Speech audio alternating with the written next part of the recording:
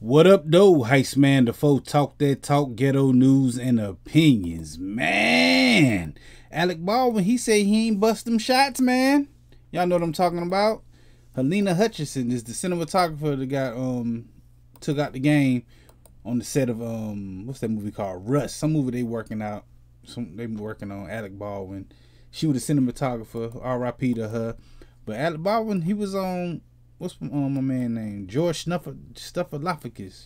He was on this show and he said he didn't do it, man. But his name sound like Snuffleupagus, man. But hey, he said it wasn't him. He said he ain't pulled a fatal shot, and I think it's gonna it's, it's gonna be kind of weird, man, because like, what's the dude? Um, the ammo guy, he said he ain't do it. The prop guy say he ain't do it. I think they finna sit back and play the blame game right now because don't nobody want to take responsibility for this.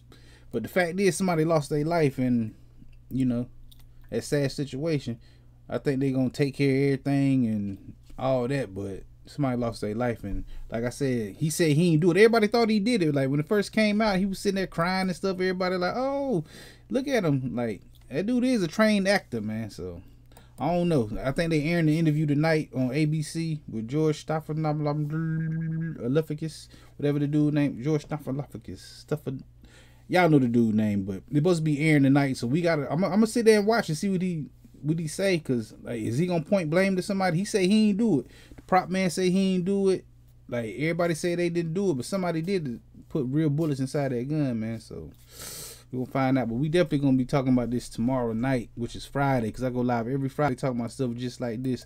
I gotta come through and holler at me, man. Hit that like button, the comment button, the share button, the subscribe button, the notification bell, all them good buttons you gotta hit to get this pimping that I'm putting out when I put it out. And like I said, I go live every Friday right here on Talk That Talk Ghetto News channel. Come through and holler at your boy, Heist Man the Talk That Talk Ghetto News and Opinions.